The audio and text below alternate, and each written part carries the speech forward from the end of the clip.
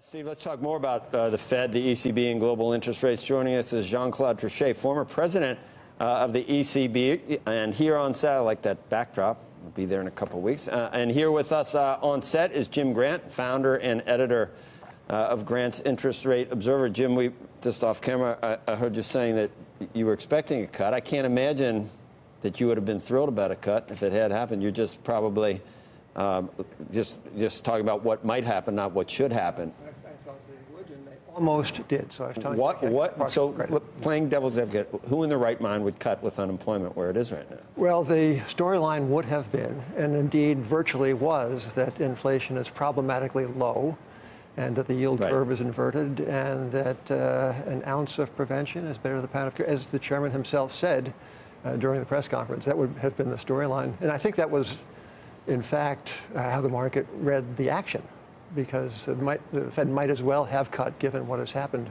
in the markets since. I like when stocks go up. You know what I mean? I, I like when Well, that's- mortgage that's- rates go down. Why shouldn't I buy into that? That's a great. That's a great narrative. Inflation's low. Let's do it. Let's keep the pedal to the metal. Well, uh, very, very low interest rates uh, lead to very, very big distortions. And Where are we seeing? Are you sure we're seeing Oh, that? Is yeah, it just the yeah. bond market in general well, you, you can you can see, for example, there's 12 and a half trillion dollars worth of securities, fixed income securities, priced to yield less than nothing Right. on a nominal basis. I'm going to blame our next guest for that. uh, Well, it actually, is when- a, it's a singular thing in uh, finance. That, Yeah. uh, um, the federal debt itself is an example of the consequences of these very low Yeah. rates. It's painless to build it up, and uh, it will be painful to pay it off. Uh, So, President Trichet, I was, I was uh, it's a little tongue in cheek. I'm joking, but you, you were down here because you know it's a global marketplace now, and it, you know you've got the Bund which is negative, and just you know low rates everywhere. Mar- Mario Draghi going back to the well with more more stimulus. I could blame Europe's uh, you know entitlement state economies for for needing all this stimulus because you can't grow over there anymore. Is there anything to that? This is all your fault. No, certainly not. Uh, but uh, what, what I would say is that uh, Mario Draghi had to counter uh, an analysis which uh, was very, very frequent, saying that if we have a global shock or if we have a recession, the uh, ECB will be uh, totally incapable to do anything. And uh, of course, because we have already low interest rates, because we have already a large uh, volume of uh, tradable securities in the portfolio and so forth. And I think that the message coming from Europe was even if, with the present level of uh, our uh, policy tools, we have to cope with very grave events, we will do it. That, that was the reassuring element in what has been said. He was not pre announcing a decrease of rates. Uh, so it's a little bit different as uh, in the US, where uh, clearly the uh, possibility of augmenting the, the likelihood of, an in, of a decrease of rates is uh, signaled by the Fed with several reasons. I, I- don't. Uh, I, I see, of course, the inflation, the prices level is a, is a reason, but uh, Chairman Powell also mentioned the uh, confidence uh, level, which has been hampered quite considerably, the trade issue, and the trade quarrels that are also very, very important. And to conclude on that, I would say for the European, the trade issue is even more important than for the US because we are more open than the US. The uh, uh, vulnerability of the euro area economy to uh, uh, protectionism is, I would say, twice as big as in the US in terms of volume of trade compared to GDP.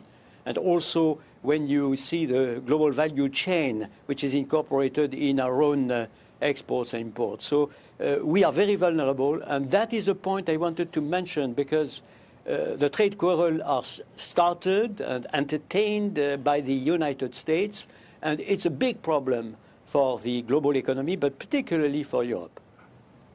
Done? You know, the, the funny thing about uh, this uh, tension between uh, Chairman Powell and President Trump is that, uh, well, Mr. Trump probably cannot fire Powell. Powell could certainly fire Trump. The power by, by simply raising rates. by heading into the saying, by saying we are um, going to raise rates, um, and uh, that would be that. Game on. But you know, the, the striking thing about all of this discussion is that inflation has taken a seat behind the back seat.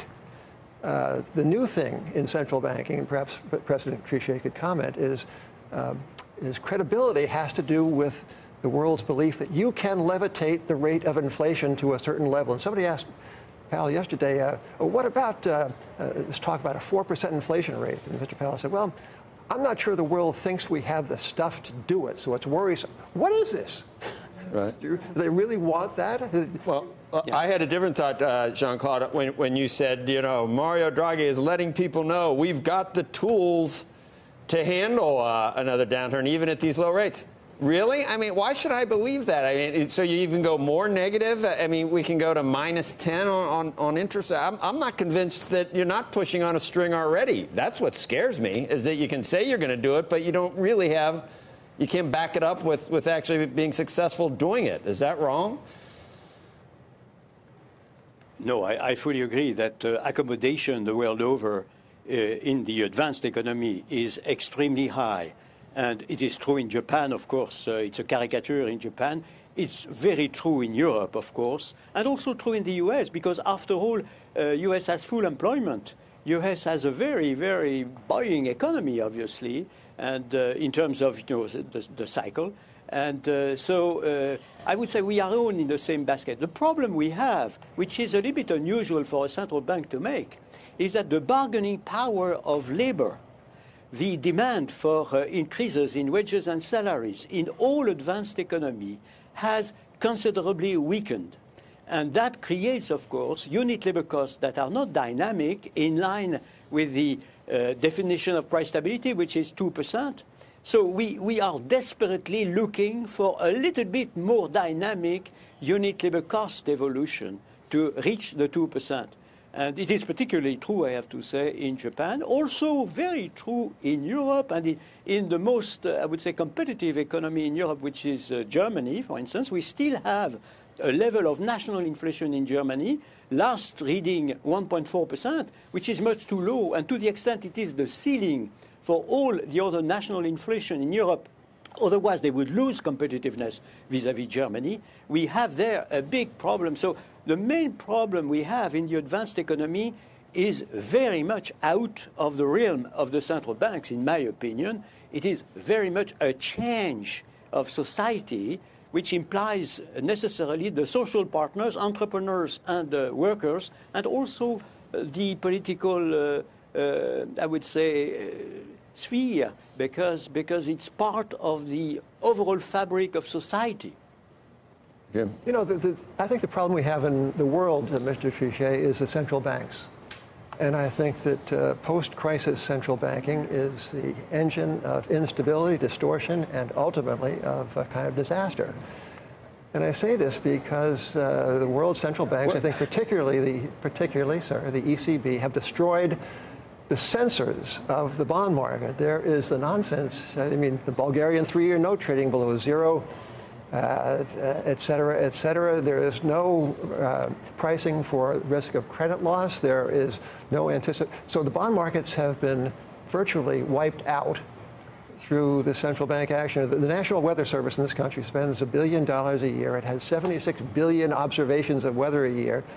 It has 10,000 times the computing power of the thing on your desk, and it has the confidence to predict the future out to 10 days. We listen to these central banks. We nod, we nod sagely with them. They say, yes, the five-year, five-year forward inflation rate, says Mr. Draghi, will be too low.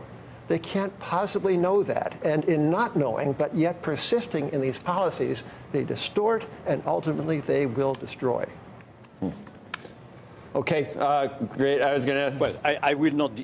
Go ahead. Jean-Claude, go ahead. Just very quickly. Can, can, I, can I say, yeah, only to say that uh, it is not because it was an arbitrary set of decisions that such decisions were taken in Japan, in the US, and in Europe. And you, you might remember that at the time the Europeans were accused to be too timid, too shy, not going uh, sufficiently uh, dynamically in the direction which was suggested by the United States. So I think we all have a big problem in our economies. I take it that you are not recommending that we embark on deflation because we have also experienced deflation in the past.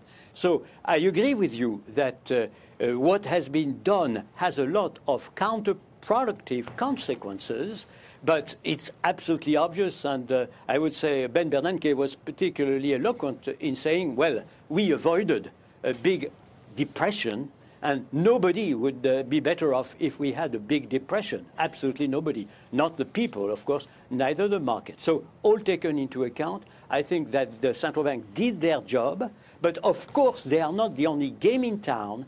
And it is up now to other partners to realize that uh, the heart of our problem is, in my opinion, the weakening of the bargaining power of labor. It's very unusual for a central banker, a former central banker, to say that, but I really trust it.